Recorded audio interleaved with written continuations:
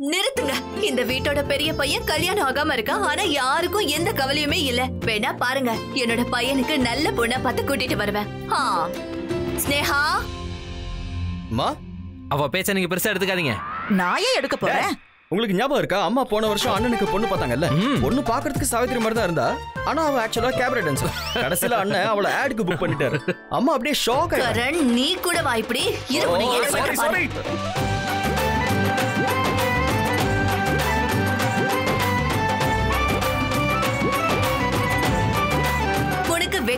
இல்லையா அப்பாக்கு போய் சப்போர்ட் பண்ணி பேசுற எனக்கு வெளிய ஒரு முக்கியமான வேலை இருக்கு. நான் போயிட்டு ப்ளீஸ் பாய் பாய் பாய் பாய் பாட்டி பாய் பாய் எங்க போற?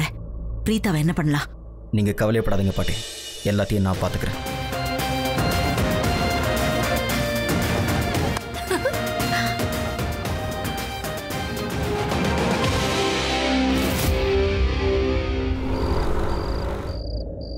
அக்கா இன்னைக்கு நாள் எப்படி போச்சு? ஆரம்பத்துல உண்மையிலேயே ரொம்ப டயர்ட் ஆயிட்டேன். ஆனா அதுக்கப்புறம் நல்லா இருந்துச்சு. அப்படின்னா உனக்கு ஜாப் கிடைச்சிருச்சா? நீங்க உங்க லக்கேஜ் எல்லாம் பேக் பண்ணீங்களா இல்லையா? அதோட கிளம்புறதுக்கு முன்னாடி செக்கையும் ரெடி பண்ணிடுங்க. ஓ இல்ல இல்ல. எனக்கு செக் எல்லாம் தேவையில்ல. பணமாவே கொடுத்துருங்க. ஒருவேளை செக்கை நான் பேங்க்ல போட்டு அதுக்கப்புறமா அது பவுன்ஸ் ஆயிடுச்சுன்னா நான் உங்களை எங்க வந்து தேடி கண்டுபிடிக்கிறது?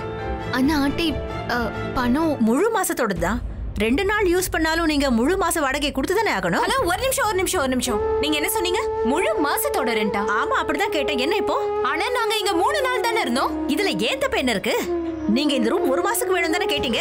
நீங்க மூணு நாள்ல போனா என்ன? முப்பது நாள்ல போனா எனக்கு என்ன? நீங்க இங்க இருக்கீங்கங்கிறதுக்காக நான் பிஜிக்கு ரூம் கிட்ட பொண்ணுங்க கிட்ட இல்லன்னு சொல்லி அனுப்பிச்சேன்.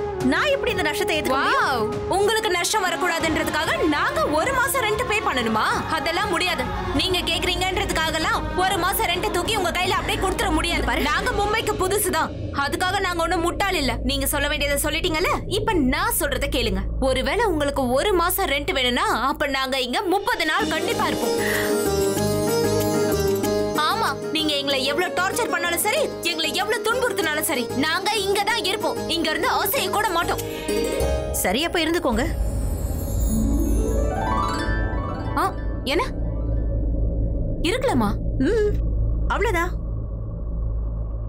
இவங்க யாருக்கா? அக்கா நீ என்னக்கா எதுவும் பேசாம இருக்க? அவங்க சொன்னது கேட்டியா? நல்லது தானே கடவுள் என்னோட மிகப்பெரிய பிரச்சனையை சரி பண்ணிட்டாரு. இல்லைன்னா என் பொண்ணுங்க என் கையை விட்டு போயிருப்பாங்க. இந்த பிரச்சனையை என்னால தீர்த்திருக்கவே முடியாது. ஆனா இனிமே எல்லாம் சரியாயிடுச்சு. என் பொண்ணுங்க என் கூடவே இருப்பாங்க. கடவுளே உண்மையாவே நீ என் பிரார்த்தனையை நிறைவேற்றிட்ட அக்கா ஹம், கண்டிப்பா ஏதோ ஒரு விஷயம் இருக்கு. இந்த ஆண்டி நம்ம மேல வலைய வீசுறாங்க. நாம இங்க இருந்து போக கூடாது இங்கேயே இருக்கணும்னு நினைக்கிறாங்க. அதனாலதான் ஈஸியா இருங்கன்னு சொல்லிட்டாங்க. ஆனா எப்படி இவ்வளவு ஈஸியா இருங்கன்னு சொல்லிட்டாங்க? உன்னோட மூளை இருக்கே தப்பு தப்பா யோசிக்குது. ஆண்டி மட்டும் இப்ப லக்கேஜ் தூக்கிட்டு கிளம்புங்கன்னு சொல்லிருந்தா அப்பவும் நீ இப்படிதான் யோசிச்சிருப்ப. ஏதோ ரெண்டு நாள் ஒரு மாசம் இங்க தங்கறதுக்கு சான்ஸ் கிடைச்சிருக்கு. இது நல்ல விஷயம் தான் ஆனா இதுவும் உனக்கு தப்பா படுது ரொம்ப யோசிக்காத. இது நல்லதுதான். சரி ஓகே நான் யோசிக்க மாட்டேன். சரி நீ எதுக்கு இந்த துணியெல்லாம் எடுத்து வைக்கிற? காலையில போடுறதுக்கு காலையில டைம் வேஸ்ட் பண்ண வேணாம்ல. நான் பஸ் பத்தியும் தெரிஞ்சுக்கிட்டேன். ஒரு மணி நேரத்துக்கு ஒரு பஸ் தான் வரும். ஜாபுக்கு முதல் நாளே லேட்டா போக முடியுமா? என்ன?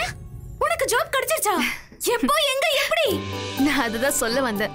அதுக்குள்ள ஆண்டி வந்துட்டாங்க. ஐ அம் சோ ஹாப்பிக்கா சரி எந்த ஹாஸ்பிட்டல் ஹாஸ்பிட்டல் ஜாப் இல்ல. அந்த கரண் இருக்கான்ல.